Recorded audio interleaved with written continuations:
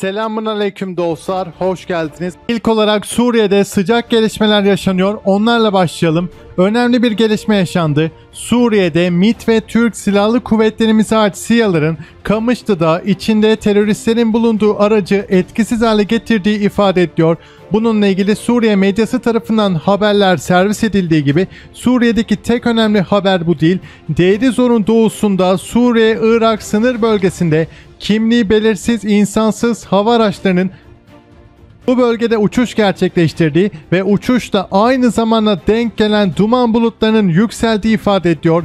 Deir Suriye İnsan Hakları Gözleme ve aktivistleri Suriye-Irak sınırına yakın İran yanlısı milisler tarafından kontrol edilen bölgelerden dumanların yükseldiğini ifade ediyor. Yani İran'a darbe vurulmuş oldu. Deir doğu kırsalında bu şekilde ilginç bir gelişme yaşandı dumanın insansız hava aracı saldırısının sonucu olup olmadığı veya başka bir şeyin sonucu olup olmadığı henüz teyit edilmezken İranlı 7 milisin yaralandığı belirtiliyor. İran'a bağlı milislerin mevcut operasyonda yürüttüğü çalışmalar kapsamında bu bölgeye geldi. El Mayedin'den Ebu Kemal'e kadar uzanan büyük bir bölgede Haçlı Şabi gücünün yerleştiği belirtiliyor. Bu milisler İsrail tarafından tekrar tekrar hedef alınması korkusuyla kamuflaj için buraya kaçtılar cümlesi de kullanılmış. Son olarak Suriye İnsan Hakları Gözlemevi olayı şu şekilde duyuruyor. İranlı milisler her gün kendi bölgelerine ve noktalarına askeri takviyeler getiriyor ve bu yerleri güçlendiriyorlar cümlesi kullanılmış. Suriye'deki son durum bu şekildeydi. Son olarak Suriye ilgili şunu söyleyelim. Birleşik Arap Emirlikleri'nin Dışişleri Bakanı Şeyh Abdullah bin Zayed El Nahyan bugün Suriye'nin başkenti Şam'da Beşar Esad'la görüşme gerçekleştirdi. Zaten Birleşik Arap Emirlikleri'nin Esad'ı desteklediğini biliyoruz. İran'da ise daha doğrusu İran demeyelim Güney Azerbaycan'da Türk şehrimiz Urmiye'de Karabağ Zaferi'nin yıl dönümü münasebetiyle vatandaşlara şerbet ve tatlı ikram eden Urmiyeli Türkler kağıtlarda Urmiye seninle gurur duyuyor Azerbaycan askeri şeklinde yazılar yazmış durumdalar. Bilindiği gibi buralar aslında Azerbaycan'ın İran tarafından işgal edilmiş toprakları. Diğer haberlerimize bakalım. Dicle ve Hurolazim için ölüm çanı başlığı kullanılmış. İran'ın Horasan gazetesi bugün birinci sayfasında Cumhurbaşkanı Erdoğan'ın Ilısu Barajı'nın açılışını ele alarak GAP projesinin bölge kuraklığına yol açacağı iddialarını tekrarlıyor.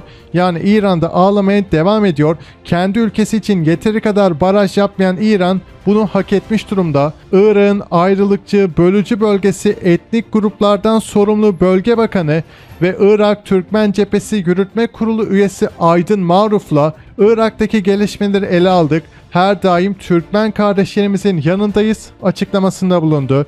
Cumhurbaşkanı Recep Tayyip Erdoğan, Avrupa Güvenlik ve İşbirliği Teşkilatı Parlamenter Asamblesi Başkanı Margarita Sederfield'ı Cumhurbaşkanlığı Külliyesi'nde kabul etti.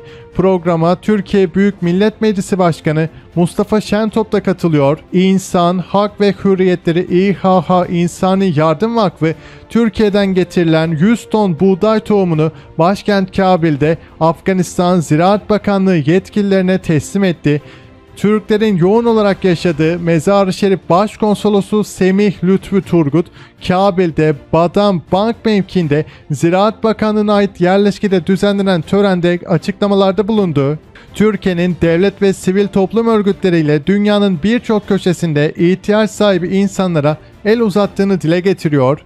İşgalci İsrail güvenlik güçlerinin pazartesi öğleden sonra işgal altındaki Batı Şeria'nın Ay Muncit bölgesine baskın düzenlediği duyuruldu. Ramallah Kültür Sarayı yakınlarında konuşlanarak kimlik kontrolü yapan İsrail güçleriyle Filistinli gençler arasında sorunlar çıktı. Fanatik Yahudi yerleşimciler işgal altındaki Batı Şeria'da Filistinli ait araçlara zarar verirken binaların duvarlarına yazılar yazdı. Görgü tanıkları Yahudi yerleşimcilerin Ramallah yakınlarında El Bireh kentine gece saatlerinde baskın düzenlediğini belirtiyor. Yahudi yerleşimcilerin Filistinlere ait 3 aracın lastiklerine kesici aletlerle zarar verdiği, bazılarını da sprey boya ile boyadıkları ifade ediliyor. Ziraat Bankası ile Bosna Hersek Futbol Federasyonu arasında sponsorluk anlaşması yenilendi. Başkent Saraybosna'daki Ziraat Bankası Genel Müdürlüğü binasında düzenlenen imza törenine Bosna Hersek Futbol Federasyonu Genel Sekreteri Adnan Dicemic, Ziraat Bankası Bosna Hersek Genel Müdürü Bülent Suer, Bosna Hersek Milli Takım Teknik Direktörü Ivejlo Petev katıldı. Pakistan'da geçen ay kurulan Türkiye Mezunları Derneği'nin üyeleri ilk buluşmalarını gerçekleştiriyor. Başkent İslamabad'da düzenlenen etkinliğe Türkiye'nin İslamabad Büyükelçisi İhsan Mustafa Yurdakul, Kuzey Kıbrıs Türk Cumhuriyeti İslamabad temsilcisi Dilşat Şenol, dernek başkanı Seyfül İslam, Pakistan'daki Türk kurumlarının temsilcileri ve davetler katıldı. Türkiye'nin İslamabad Büyükelçisi burada konuşma gerçekleştirerek Türkiye ve Kuzey Kıbrıs Türk Cumhuriyeti'nden mezun olan çok sayıda Pakistanlı olduğunu da hatırlatıyor. Evet dostlar biz de kendisinin sözleriyle sizlere veda ediyoruz. İzlediğiniz için teşekkürler. Bir başka videoda görüşmek üzere. Allah'a emanet olun. Hoşçakalın.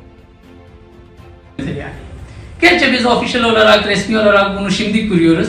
Ama bunun e, çok ayağı var. Kaç kez kurulmuştur ve inşallah bu official platformda kurulduktan sonra artık biz Türkiye ve Pakistan arasındaki ilişkileri daha ileri götürebilmek için gerek Pakistan e, tarafta olsun, gerek Türkiye tarafından olsun alumni olarak, Türkiye mezun olarak e, elimizden gelen çabaları göstereceğiz ve bunu daha iyi seviyede getirmeye çalışacağız. Biz de hazırız. Tabii bu çatı platform e, fikri YTB'den de çıktı. Between our countries. I mean, I, I am including ourselves as well. Uh, You will find the right person and you know force them to come up with, a, with some kind of association. But I prefer the first uh, way. İddizetini aldığınız dostluk ve kardeşliği hep birlikte yaşatmaya çalışalım. Türkiye ile ilgili anılarınızı unutmayın. Evet. Evet. Thank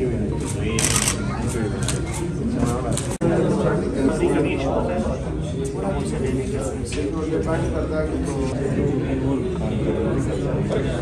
मेरा तो कोई खास इस तरह की and there's no one like him. Sadaqallahu Nazim.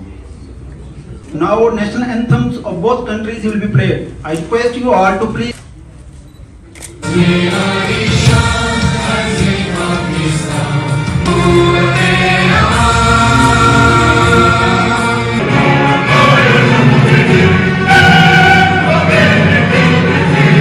Bulunuyor. Onlara teşekkür ediyorum. Ve diğer tüm özellikle bizim alumni'daki arkadaşlar, Şenol Hanım kendisine teşekkür ederim. Ee, Esma Hanım'a da teşekkür ederim. Ee, ben